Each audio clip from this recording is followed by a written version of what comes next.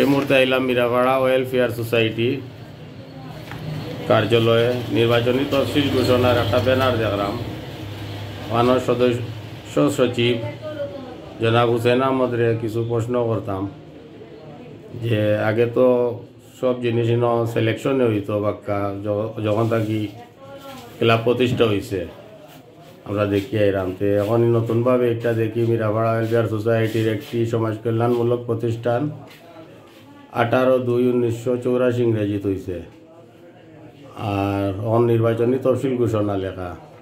Mirapara welfare সোসাইটির দ্বিবার্ষিকী দুই হাজার বাইশ তেইশ কার্যনির্বাহী পরিষদের নির্বাচনী তফসিল ঘোষণা হবে আগামী তিন বারো দুই হাজার একুশ ইংরেজি রোজ শুক্রবার।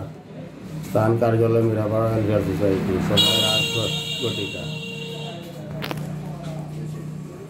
আসসালামু আলাইকুম। ওয়ালাইকুম আসসালাম। জি আপনার আর ব্যানার দেখি হঠাৎ ইন্টারেস্টেড হইলাম যে একটু আপনার প্রশ্ন করি। হ্যাঁ।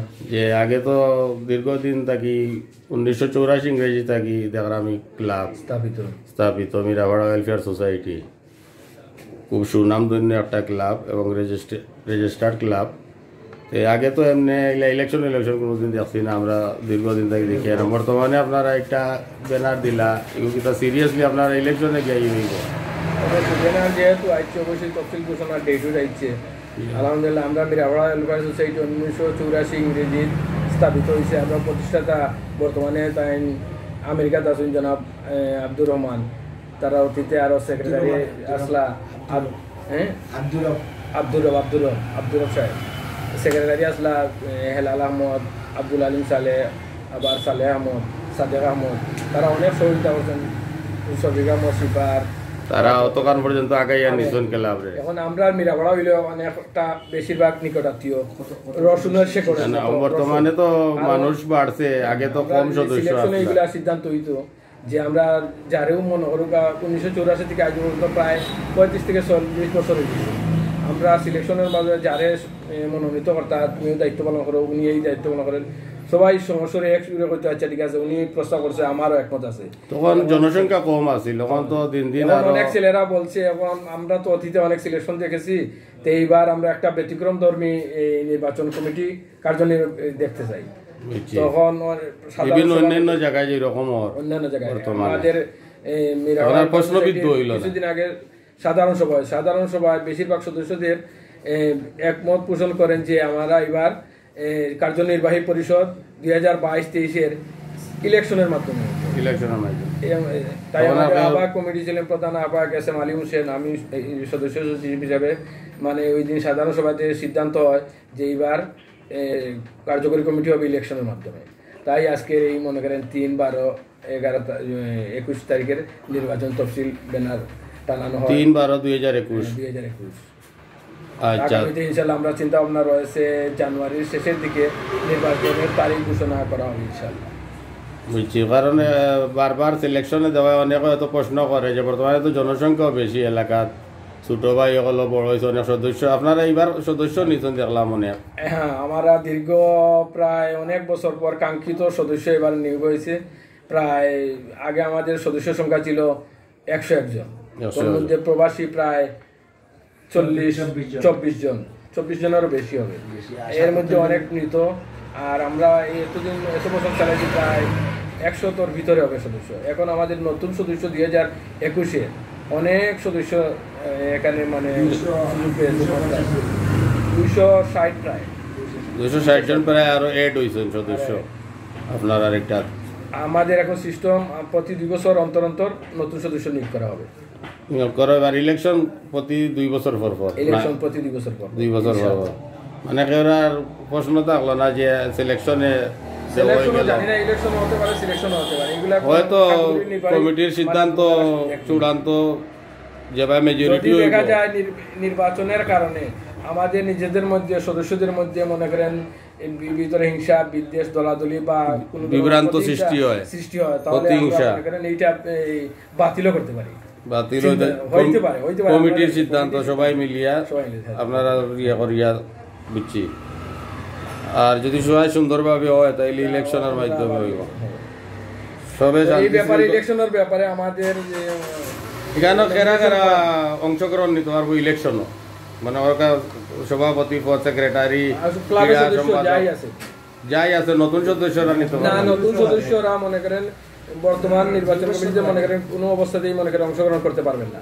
আগামী দুই বছর পরে তারা ছয় মাস অন্তর এখানে মনে করেন এই ছয় মাসের পর। ছয় মাস পর তো আপনি বলছেন ছয় মাসের তাই পর আপনারা তো পদে অংশগ্রহণ নেক্সট ইলেকশন হইব যদি বর্তমান ইলেকশনে হয় তাহলে নেক্সট ইলেকশন দুই বছর পরে। দুই বছর পরে। তাইলে দুই দুই বছর পরে উনি যে কোনো পদে অধিষ্ঠিত হতে। ক্লাবর নিয়ম ক্লাবর আইন শৃঙ্খলা নিয়ম ভঙ্গ করলে নিয়ম ভঙ্গ করলে উনাকে বাতিল বলে ঘোষণা করে বাতিল হইতে পারে হ্যাঁ। কমিটির সিদ্ধান্ত চূড়ান্ত। হ্যাঁ, কমিটিতে এই ক্লাবে একটা সমাজ সেবা একটা ইয়ে একটা তোর কোনো রাজনীতি বাতিল হলে ওইগুলা সাময়িক পরে একটা কোনো রাজনীতি ইয়ে, হস্তক্ষেপ আছে রাজনীতি কোনো সব অরাজনৈতিক। অরাজনৈতিক একটা সংগঠন। সামাজিক সংগঠন। আপনারা অতদিন যে চৌরাশি থেকে এখন পর্যন্ত কিতা উন্নয়নমূলক কোনো কাজ করছেন? একটু তার দৃষ্টান্তমূলক কিছু আমার তো দৃষ্টান্তমূলক কি বলব মনে করেন উনিশশো চুরাশি থেকে আজ অবধি মনে করেন যে চলছে প্রতি দুই হাজার একুশে অলমোস্ট শেষের কার্যকরী কমিটি আছেন তারা ওই তো মনে করেন এলাকার গরিব দুঃখীর দান বিভিন্ন উন্নয়নমূলক কাজ করছেন। তখন তো আরও সদস্য বাড়ে আরও আরও আগামী আরও নতুন চিন্তাধারা আরও বেশি বেশি করার উদ্যোগ আছে। আমরা মনে করেন অতীতে আরও কিছু গরিব লোকজন ছিল তাদেরকে নতুন ঘরও তৈরি করে আচ্ছা যতটুকু বুঝার আমরা তো বুঝলাম এটা তো এলাকার স্বার্থে এবং ক্লাবর স্বার্থে যেটাও করা হয় সকলর সকলর সিদ্ধান্ত চূড়ান্ত হইব যেভাবে মেজরিটি সাপোর্ট হইব ঠিক না ফর এক্সাম্পল বিশ জনের মাঝে যদি এগারো জনের সাপোর্ট থাকে ইলেকশন তাহলে এগারো জন ইলেকশন হইব। আর এগারো জনের যদি কয়েন সিলেকশন তাহলে সিলেকশন মেজরিটি ডিমান্ড আচ্ছা। আপনারা কিছু কইতা যাইবানি এলাকাবাসীর উদ্দেশ্যে? একটা আপলোড দিমু সকলে দেখবা যুব সমাজ আমরা এলাকাবাসীর উদ্দেশ্যে বলার জন্য আমি অনুরোধ করব আমাদের সাবেক সভাপতি সিনিয়র অনেক পুরাতন দায়িত্বশীল এখানে সাদি আহমদ আছেন শফিক আহমদ আছেন তাদেরকেও মনে করেন অতীতের কার্যক্রম সম্বন্ধে আপনি প্রশ্ন করতে পারেন। না অতীতের কার্যক্রম না আপনি এলাকার সকলরে যে সামনে ইলেকশন আর হ্যাঁ আপনি কিছু কইতা যাইবানি আমরা এলাকার আচ্ছা, আগামীতে যদি আমাদের সকল। ইনশাল্লাহ আলহামদুলিল্লাহ দুই হাজার বাইশ তেইশ সালের Election হয়। ইলেকশন হয়। তাহলে আমরা শান্তিপূর্ণভাবে ইনশাল্লাহ ইলেকশনটা হবে। আর আমরা সবাই এলাকাবাসী সদস্যরা মিলে মিশে শৃঙ্খলভাবে মানে ইলেকশনটা হাতে হাতে মিলিয়ে ইনশাল্লাহ কাজ করব এবং সমাজের উন্নয়নের এই ক্লাবের উন্নয়নের ধারা অব্যাহত রাখব। আর সবাই মিলেমিশে ইনশাল্লাহ আমরা কাজ করব। এই দোয়া করি আর আপনারাও দোয়া করবেন যাতে আমাদের ইনশাল্লাহ এলাকা সব নিকট আত্মীয় স্বজন নিকটে আর কোনো ধরনের এই ভেজাল বা হিংসা বিদ্বেষ আলহামদুলিল্লাহ অনেক এলাকা থেকে অনেক কম আছে। আমার বিশ্বাস যারাই পরাজিত হোক বা মানে- জয়ী হোক মনে করেন সবাই একত্রে মিলেমিশে এই সমাজের উন্নয়নে এই এলাকার উন্নয়নে। এলাকার উন্নয়নে কাজ করবে এই আমার বিশ্বাস।